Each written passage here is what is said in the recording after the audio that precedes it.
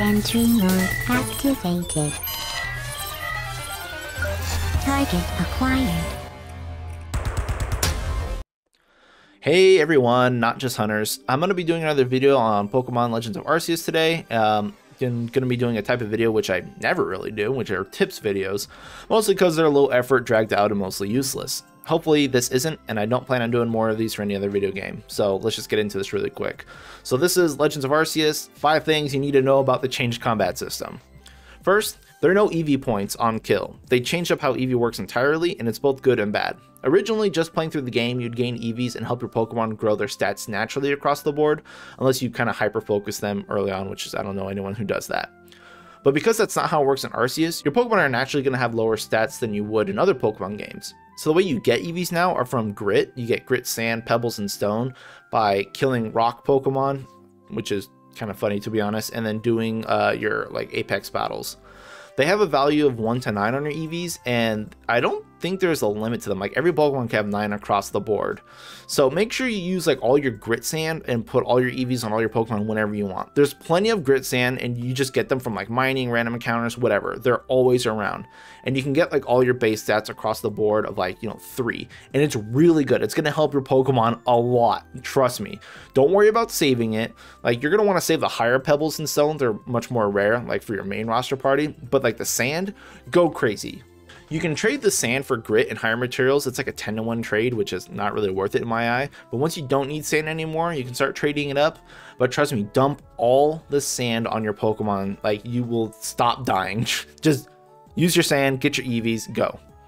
So second is that Pokemon don't have abilities in Arceus. So Pokemon that relied on their abilities are much, much worse off. Like Arcanine with no Intimidate, Golem with no Sturdy, stuff like that. There's a lot of Pokemon that were good because they revolved around their ability. But with those gone, you should reconsider what Pokemon you want to use and catch. Oddly enough in the files, the new forms of Pokemon do have abilities, so you may be able to transfer these back to like Sword and Shield and stuff. Not entirely sure though, but in game, no abilities on any Pokemon. Third and kind of fourth is that the move pools from this game are not the same, not even similar. There's probably less than half the moves in Arceus compared to like modern Pokemon games. So Pokemon have very small and limited move pools. You're going to be seeing the same attacks a lot.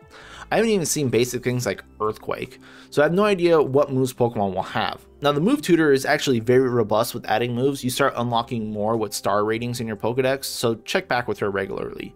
Each Pokemon can change their moves on the fly as well, you know, from just the menu, which is pretty awesome. I love this change. I hope they keep it permanently. But they also changed statuses a ton. So status moves got a huge overhaul. Now they only last three turns, all of them. Buffs, debuffs, status effects, everything. So setup sweeping is kind of a lot harder now, but since there's no PvP, yeah, there's no PvP, you don't really need to focus on that. Statuses like paralysis, burn, poison all fall off after 3 turns. However, poison does tick for more damage now to compensate. Frozen has been reworked to be Frostbite, which is now a dot like poison. Rest does not fully heal, but being asleep is now like a 50 50 using your actions, kind of like Confuse, Charm, or Paralysis, and things like that. And I don't think Confuse is in the game at all. So yeah, they're all different, and if you planned your teams and Pokemon around certain status or conditions, again, may want to rethink the whole thing. Now, to tie into the last two points, I want to point out that Pokemon are not the same tiers and categories as in previous games. With no abilities, the lack of diverse move pools, no, you know, getting uh, moves from breeding because there's no breeding, and stuff like that, and I want to say the base stats are even different too. I'm not really sure because I can't read the game files, but they feel different. Uh, it could be because you don't have EVs and your opponents do in their stat growths, but some of like the bulkier or hyper aggressive Pokemon don't seem to cut it here in Arceus. Garchomp is great, but he can't smash through everything in the game. So don't think that Pokemon that were bad in previous games are still bad in Arceus. Branch out and try different Pokemon, trust me.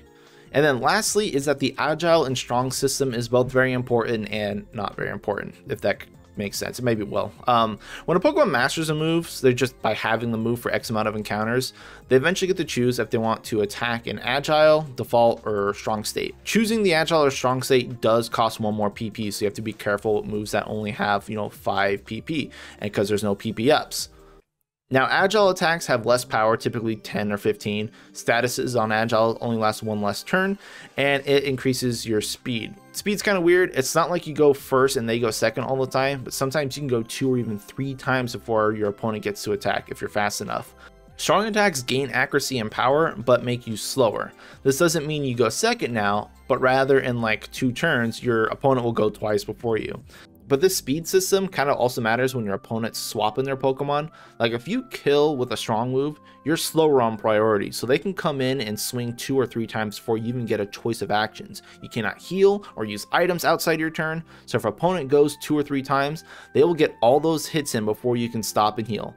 Make sure you keep an eye out on the turn gauge and manage your agility and strong attacks closely. And because of this, it also doesn't matter too much because you can just do standard attacks most of the time and it'll pretty much be a one to one. And pretty much you will. Agile attacks is kind of good for finishing off Pokemon, so you can do an agile and then a strong attack, or just making sure you can buff up really quick and get your statuses on before you do your heavy swing. Um, but yeah, so those are like my five-ish things you need to know about the combat system before you get too far into Arceus. Thank you all for watching and good luck out there.